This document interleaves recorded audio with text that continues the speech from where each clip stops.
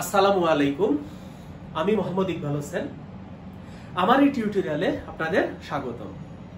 আজকের টিউটোরিয়ালে আমি আলোচনা করব বিসিএস বাংলা সাহিত্য। বাংলা সাহিত্যে একজন গুরুত্বপূর্ণ কথা সাহিত্যিক হুমায়ুন আহমেদ।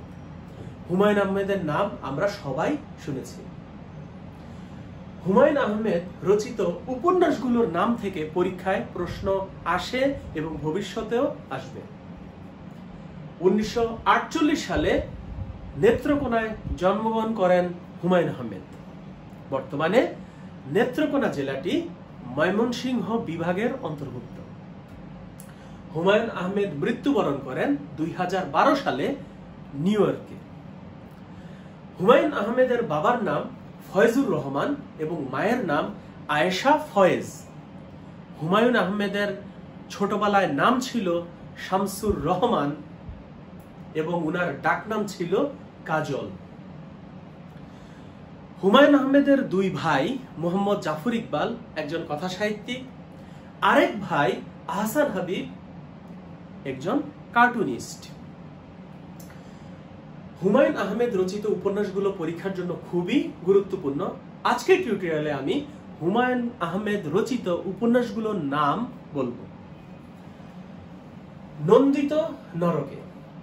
উনিশশো বাহাত্তর সালে প্রকাশিত হয়েছে এই উপন্যাসটি, নন্দিত নরকে। নন্দিত নরকে উপন্যাসটির একটি চরিত্র নাম হচ্ছে রাবেয়া, সংক্ষেপে রাবু। আরেকটি উপন্যাস, শঙ্খনীল কারাগার শঙ্খনীল কারাগার। হুমায়ুন আহমেদ যখন বাংলাদেশ কৃষি বিশ্ববিদ্যালয়ের প্রভাষক ছিলেন, তখন এই উপন্যাসটি প্রকাশিত। শঙ্খনীল কারাগার উপন্যাসের দুইটি চরিত্র, মতিন কমল, পরীক্ষায় চরিত্র থেকে প্রশ্ন আসে। এজন্য আপনারা অবশ্যই বিখ্যাত সাহিত্যিকদের, বিখ্যাত সাহিত্যকর্মের চরিত্রের নামগুলো মনে রাখবেন। যেমন আটত্রিশতম বিসিএস এ একটি চরিত্র থেকে প্রশ্ন এসেছিল, তা ছিল রবীন্দ্রনাথ ঠাকুরের একটি ছোট গল্প। এবং তার নাম, ছোট গল্পের নাম শাস্তি এবং শাস্তি ছোট গল্পের একটি চরিত্র চন্দরা। এ কারণে ফিউচারের কোনো পরীক্ষায় দেখবেন, আসতে পারে হুমায়ুন আহমেদ রচিত বিখ্যাত উপন্যাস শঙ্খনীল কারাগার এর চরিত্র নিচের কোনটি? অপশনে আপনি দেখবেন মতিন, কমল এগুলো থাকবে। হুমায়ুন আহমেদের উপন্যাস অমানুষ, আগুনের পরশমণি। আগুনের পরশমণি একটি মুক্তিযুদ্ধ ভিত্তিক উপন্যাস। এই উপন্যাসের চরিত্র মতিন সুরমা। মতিন সাহেবের স্ত্রীর নাম সুরমা। মতিন সাহেব এবং সুরমা দম্পতির দুই মেয়ে রাত্রি অপালা এবং তাদের গৃহকর্মী আছে একজন, তার নাম বিন্তি।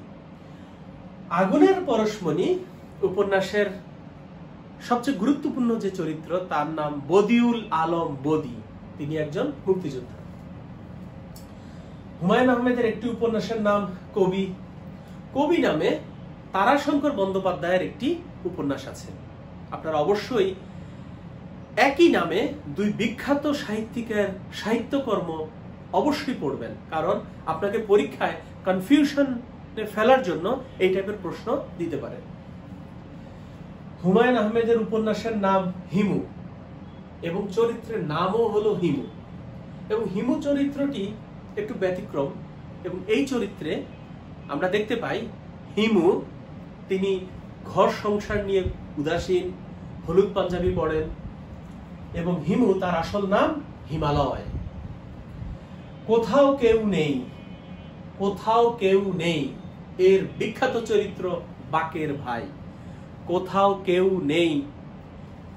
এর কাহিনীর উপরে ভিত্তি করে একটি নাটক বিটিভিতে প্রচারিত হয়েছিল এবং আপনারা জানেন খুব আলোচনায় এসেছিল নাটকটি। বাকের ভাই চরিত্রে অভিনয় করেছেন জনপ্রিয় অভিনেতা আসাদুজ্জামান নূর। হুমায়ুন আহমেদের উপন্যাস রজনী, আজ রবিবার, আপনারা জানেন আজ রবিবার এর কাহিনীর উপর ভিত্তি করে ধারাবাহিক নাটক বিটিভিতে প্রচারিত হয়েছিল। এবং এখনও অনেকে ইউটিউব থেকে আজ রবিবার নাটকটি দেখেন। এখনও এর চাহিদা একটুও কমেনি। দারুচিনি দ্বীপ দারুচিনি দ্বীপ এর উপর ভিত্তি করে, দারুচিনি দ্বীপের কাহিনীর উপর ভিত্তি করে একটি সিনেমাও রচিত, সিনেমাও তৈরি হয়েছে।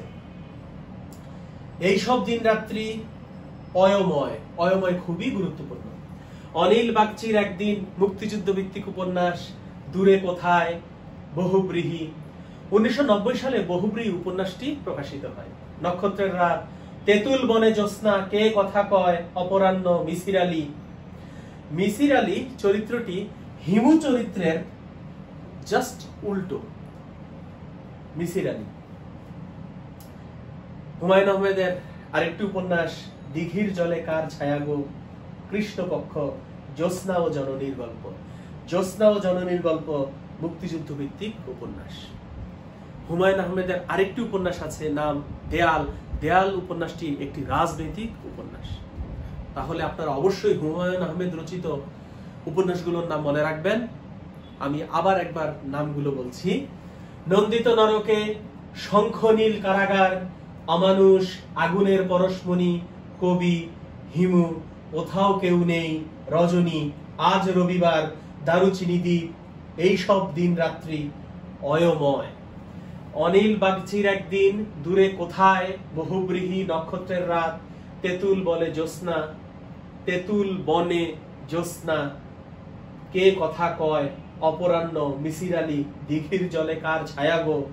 কৃষ্ণপক্ষ, জ্যোৎস্না ও জননীর গল্প, আরেকটি নাম বলেছি দেয়াল। তাহলে এভাবে করে আপনি গুরুত্বপূর্ণ সাহিত্যিকদের সাহিত্যকর্মগুলোর নাম পড়বেন এবং মনে রাখবেন। প্রচুর রিভিশন দিতে হবে। আজকে এ পর্যন্তই। ভালো থাকবেন। আমার অন্যান্য টিউটোরিয়ালগুলো দেখবেন। আসসালামু আলাইকুম।